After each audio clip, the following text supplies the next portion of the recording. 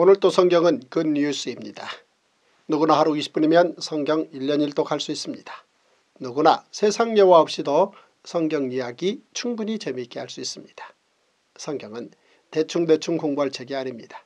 성경은 예화주의, 요절주의, 권별주의를 극복하고 전체를 통으로 공부해야 할 유일한 책입니다. 먼저 오늘의 그 뉴스 민수기 13장에서 14장의 통습 다섯 가지 포인트입니다. 첫째, 하나님께서는 이스라엘 백성들의 가나안 정탐 제안을 수용하십니다. 둘째, 가나안 정탐 40일 만에 입 가나안과 입 애굽으로 갈라섭니다.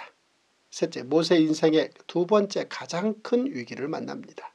넷째, 하나님께서 출애굽 세대에서 만나 세대 40년 교육으로 결정하십니다. 다섯째, 하나님께서는 이스라엘 백성들이 불평하던 칠흑 같은 그 밤에도 이들이 다음날 먹을 만나를 내려주십니다. 성경은 소리내어 읽을 만한 유일한 책입니다. 여러분들도 저와 함께 역사순 1년 1독 통독 성경으로 오늘의 그 뉴스 민수기 13장에서 14장을 함께 소리내어 읽겠습니다. 제49일 민수기 13장 여호와께서 모세에게 말씀하여 이르시되 사람을 보내어 내가 이스라엘 자손에게 주는 가나안 땅을 장탐하게 하되 그들의 조상의 가문 각 지파 중에서 주의관 된 자 한 사람씩 보내라. 모세가 여호와의 명령을 따라 바란 광야에서 그들을 보냈으니 그들은 다 이스라엘 자손의 수령된 사람이라. 그들의 이름은 이러하니라.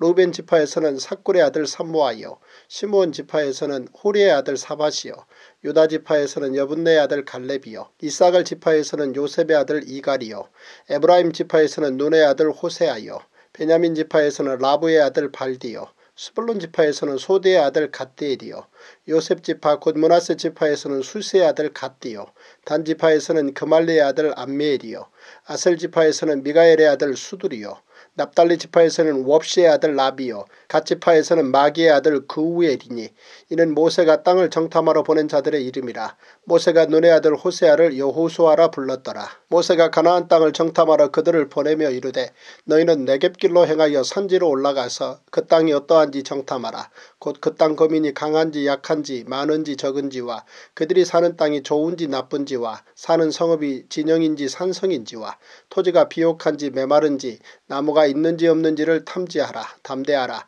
또 그 땅의 실과를 가져오라 하니 그때는 포도가 처음 익을 즈음이었더라. 이에 그들이 올라가서 땅을 정탐하되 신광야에서부터 하맛 어기 르홉에 이르렀고 또 레게보로 올라가서 헤브론에 이르렀으니 헤브론은 애굽 소환보다 7년 전에 세운 것이라. 그곳에 안악자손 아히만과 세세와 달메가 있었더라. 또 에스골 골짜기에 이르러 거기서 포도송이가 달린 가지를 베어 둘이 막대기에 꿰어 매고 또 석류와 무화과를 따니라. 이스라엘 자손이 거기서 포도를 베었으므로 그곳을 에스골 골짜기라 불렀더라. 40일 동안 땅을 정탐하기를 마치고 돌아와 바란 광야 가데스에 이르러 모세와 아론과 이스라엘 자손의 온 회중에게 나와 그들에게 보고하고 그 땅의 과일을 보이고 모세에게 말하여 이르되 당신이 우리를 보낸 땅에 간즉 과연 그 땅에 적과 꿀이 흐르는데 이것은 그 땅의 과일이니이다. 그러나 그 땅 거주민은 강하고 성읍은 견고하고 심이 클 뿐 아니라 거기서 안악자손을 보았으며 아말렉 아말렉인은 남방 땅에 거주하고 헷인과 여부스인과 아모리인은 산지에 거주하고 가나안인은 해변과 요단 가에 거주하더이다. 갈렙이 모세 앞에서 백성을 조용하게 하고 이르되 우리가 곧 올라가서 그 땅을 취하자. 능히 이기리라 하나 그와 함께 올라갔던 사람들은 이르되 우리는 능히 올라가서 그 백성을 치지 못하리라. 그들은 우리보다 강하니라 하고 이스라엘 자손 앞에서 그 정탐한 땅을 악평하여 이르되 우리가 두루 다니며 정탐한 땅은 그 거주민을 삼키는 땅이요 거기서 본 모든 백성은 신장이 장대한 자들이며 거기서 네피림 후손인 안악자손의 거인들을 보았나니 우리는 스스로 보기에도 메뚜기 같으니 그들이 보기에도 그와 같았을 것이니라. 민수기 14장 온 회중이 소리를 높여 부르짖으며 백성이 밤새도록 통곡하였더라. 이스라엘 자손이 다 모세와 아론을 원망하며 온 회중이 그들에게 이르되 우리가 애굽 땅에서 죽었거나 이 광야에서 죽었으면 좋았을 것을 어찌하여 여호와가 우리를 그 땅으로 인도하여 칼에 쓰러지게 하려 하는가. 우리 처자가 사로잡히리니 애굽으로 돌아가는 것이 낫지 아니하랴.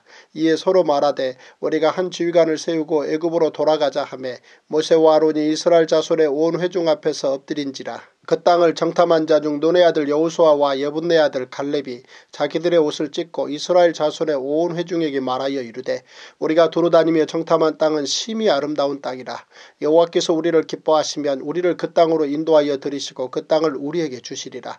이는 과연 젖과 꿀이 흐르는 땅이니라. 다만 여호와를 거역하지는 말라. 또 그 땅 백성을 두려워하지 말라. 그들은 우리의 먹이라. 그들의 보호자는 그들에게서 떠났고 여호와는 우리와 함께 하시느니라. 그들을 두려워하지 말라 하나 온 회중이 그들을 돌로 치려 하는데 그때 여호와의 영광이 회막에서 이스라엘 모든 자손에게 나타나시니라. 여호와께서 모세에게 이르시되 이 백성이 어느 때까지 나를 멸시하겠느냐. 내가 그들 중에 많은 이적을 행하였으나 어느 때까지 나를 믿지 않겠느냐. 내가 전염병으로 그들을 쳐서 멸하고 내게 그들보다 크고 강한 나라를 이루게 하리라. 모세가 여호와께 여짜오되 애굽인 중에서 주의 능력으로 이 백성을 인도하여 내셨거를 그리하시면 그들이 듣고 이 땅 거주민에게 전하리이다. 주 여호와께서 이 백성 중에 계심을 그들도 들었으니 곧 주 여호와께서 대면하여 보이시며 주의 구름이 그들 위에 섰으며 주께서 낮에는 구름기둥 가운데에서 밤에는 불기둥 가운데에서 그들 앞에 행하시는 것이니이다. 이제 주께서 이 백성을 하나같이 죽이시면 주의 명성을 들은 여러 나라가 말하여 이르기를 여호와가 이 백성에게 주기로 맹세한 땅에 인도할 능력이 없었으므로 광야에서 죽였다 하리이다. 이제 구함난이 이미 말씀하신 대로 주의 큰 권능을 나타내옵소서 이르시기를 여호와는 노하기를 더디하시고 인자가 많아 죄악과 허물을 사하시나 형벌받을 자는 결단코 사하지 아니하시고 아버지의 죄악을 자식에게 갚아 3, 4대까지 이르게 하리라 하셨나이다.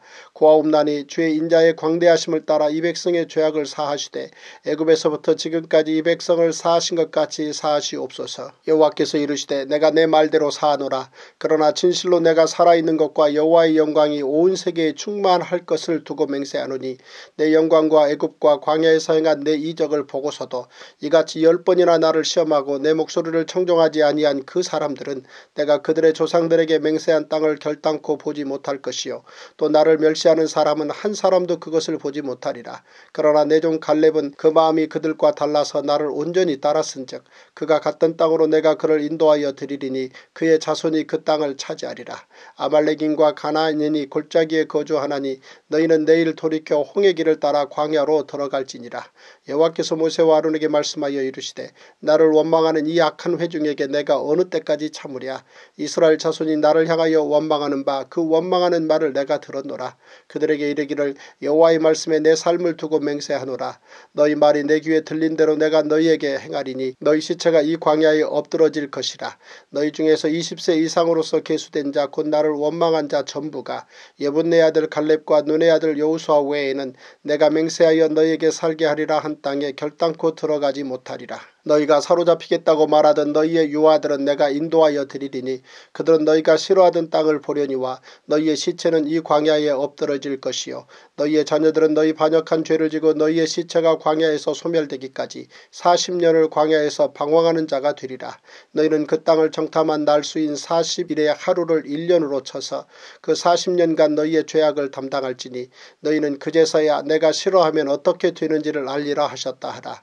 나 여호와가 말하였거니 와 모여 나를 거역하는 이 약한 온 회중에게 내가 반드시 같이 행하리니 그들이 이 광야에서 소멸되어 거기서 죽으리라. 모세의 보냄을 받고 땅을 정탐하고 돌아와서 그 땅을 악평하여 온 회중이 모세를 원망하게 한 사람 곧 그 땅에 대하여 악평한 자들은 여호와 앞에서 재앙으로 죽었고 그 땅을 정탐하러 갔던 사람들 중에서 오직 눈의 아들 여호수아와 여분네 아들 갈렙은 생존하니라. 모세가 이 말로 이스라엘 모든 자손에게 알림해 백성이 크게 슬퍼하여 아침에 일찍 일어나 산꼭대기로 올라가며 이르되 보소서 우리가 여기 있나이다. 우리가 여호와께서 허락하신 곳으로 올라가리니 우리가 범죄하였음이니이다. 모세가 이르되 너희가 어찌하여 이제 여호와의 명령을 범하느냐 이 일이 형통하지 못하리라. 여호와께서 너희 중에 계시지 아니하니 올라가지 말라. 너희의 대적 앞에서 패할까 하노라. 아말렉인과 가난인이 너희 앞에 있으니 너희가 그 칼에 망하리라. 너희가 여호와를 배반하였으니 여호와께서 너희와 함께하지 아니하시리라 하나 그들이 그래도 산꼭대기로 올라갔고 여호와의 언약궤와 모세는 진영을 떠나지 아니하였더라. 아말렉인과 산간지대에 거주하는 가나안인이 내려와 그들을 무찌르고 호르마까지 이르렀더라. 오늘 우리는 민수기 13장에서 14장을 함께 읽었습니다. 가나안 땅에 들어가기 전 이스라엘 백성들은 미리 그 땅을 정탐해 보고 싶었습니다. 그들은 첫째 가나안 거민의 군사력이 궁금했습니다. 둘째 가나안 땅이 비옥한지 메마른지 궁금했습니다. 셋째 가나안 성읍이 진영인지 산성인지 궁금했습니다. 넷째 가나안 땅에 나무가 있는지 없는지 실과는 어떠한지 궁금했습니다. 그런데 적과 꿀이 흐르는 가나안 땅을 보고 정탐꾼 10명은 입애굽을 주장했습니다. 그러나 갈렙과 여우수아는 입 가나안을 주장했습니다. 결국 가데스 바냐에서 출애굽 세대들의 광야 40년이 결정되었습니다. 아브라함의 믿음과 순종이 모세의 믿음과 순종이 여우수아와 갈렙의 믿음과 순종이 그리고 성경 속 하나님의 사람들의 믿음과 순종이 그래서 그토록 값진 것입니다. 모든 성경은 하나님의 감동으로 된 것으로 교훈과 책망과 바르게 함과 의로 교육하기에 유익합니다. 성경 한 권이면 충분합니다. 그러므로 오늘도 세상 뉴스를 넘어 good news 성경으로 행복하시고 good news 성경으로 승리하시는 멋진 하루 되십시오. Wow!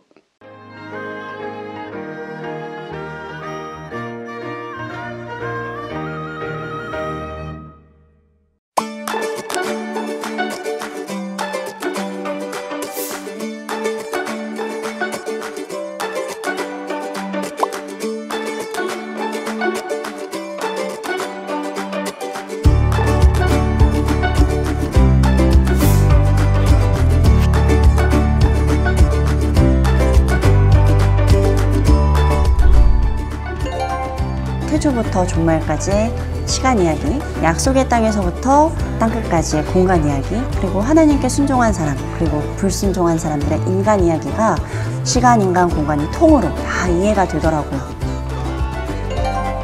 성경의 개인 이야기는 단순히 그 개인 이야기에 머물지 않고 그 가정에 속한 또 나라 이야기에 연결된다는 것을 강의를 통해서 쉽게 이렇게 이해가 되어지는데 많이 도움이 되었습니다. 자, 그러면 속죄 죄는 무엇입니까? 그 다음 용서를 받고 그 다음에 회복이 되는 이런 놀라운 제사가 바로 이 속죄제인데요.